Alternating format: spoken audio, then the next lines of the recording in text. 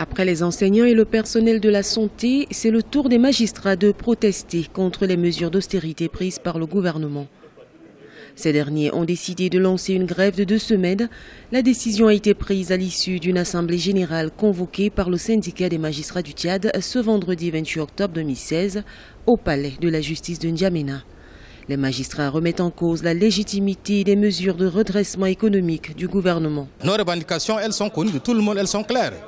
Primo, nous avons demandé au gouvernement de retirer le décret 631 qui abat les indemnités, puisque ce décret est illégal.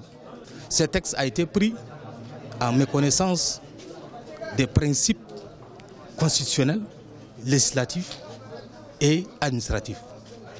Je le disais tantôt, un texte, un décret qui méconnaît les dispositions d'une loi alors qu'il devait plutôt s'arrimer aux dispositions de cette loi, ne peut encourir qu'une annulation.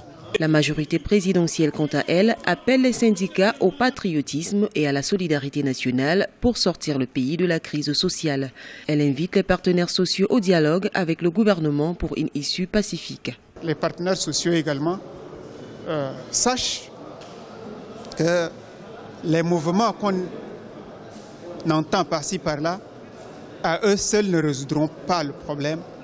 Il faut s'asseoir, dialoguer et trouver des solutions idoines qui nous sortent de cette situation sans heurts de peur qu'on aille à des situations imparables.